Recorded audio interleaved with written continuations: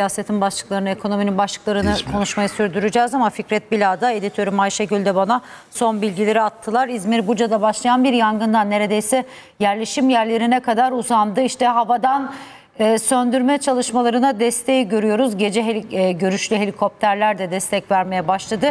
Gaziemir ilçesine kadar sıçramış durumda alevler. Buca'da başlamıştı yangın.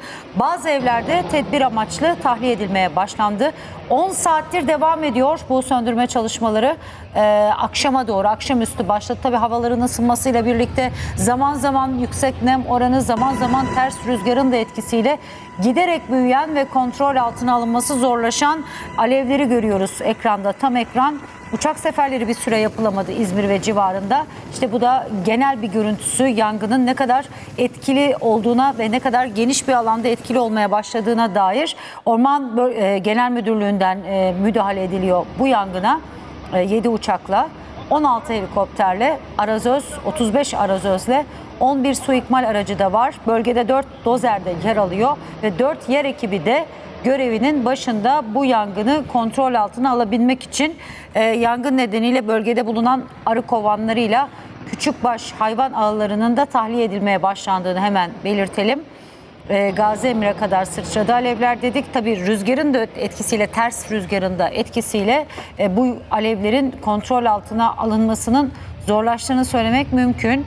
Ee, bazı evlere de çevredeki evlere e, yaklaşması nedeniyle bu alevlerin e, polis ve jandarma ekipleri vatandaşları hem evlerinden hem o bölgeden uzaklaştırıyorlar. Genel görüntüsü bu yangının e, son en son görüntüler, en sıcak görüntüler elimize ulaşan bu görüntüler. E, hava karardığı için tabii gece görüşlü helikopterler de yangın söndürme çalışmalarına destek veriyor. Geçen yıl, ondan önceki yıl, e, son iki yıldır en çok yazın e, ekrana getirirken üzüldüğümüz, zorlandığımız bu görüntüler işte orman yangınları, kontrol altına alınmasının ne kadar e, zor olduğu bir dönemi hatırlıyoruz yakın tarihte.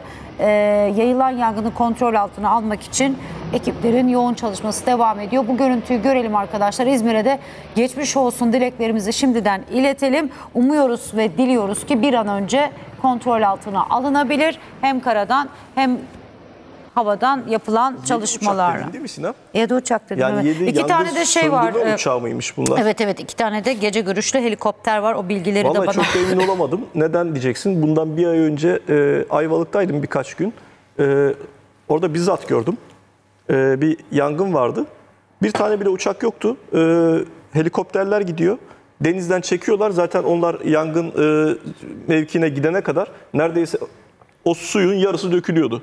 İnanın bu, bu görüntüyü ben gördüm. Ayvalık'la İzmir arası ne kadar? 100 kilometredir taş çatlasın değil mi? 150 bir yer. aşağı yukarı, Ha yani 150. Hani or- oradan oraya yani oraya 7 tane uçakla müdahale ediliyorsa o gün ben e, gün boyu izledim. E, uçak falan yoktu. Sadece helikopterlerle, taşıma suyla bu iş bitirilmeye çalıştı ki e, başarı da sağlanamadı. Çok iyi bir başarı da sağlanamadı. Orada e, yokken burada nasıl 7 tane uçak geldi? Bu bana pek gerçekçi gelmedi açıkçası. O 7 uçak demişler ya. O 7 uçak acaba yangın söndürme uçağı mı? Evet Yoksa Ayşegül'e bak şimdi Ayşegül'e Normal gönderdikleri uçakları da bakın Ee, orada müdahale ediyoruz diye mi saymışlar? Ondan vallahi emin değilim. Ben şerhimi düşmüş olayım. Peki tamam şimdi e, Ayşegül bana bil- bilgi notlarını atıyor zaten sevgili editörümüz. E, Ben bakayım senin söylediğin şey ama evet ya şey iki gece görüşlü helikopter var.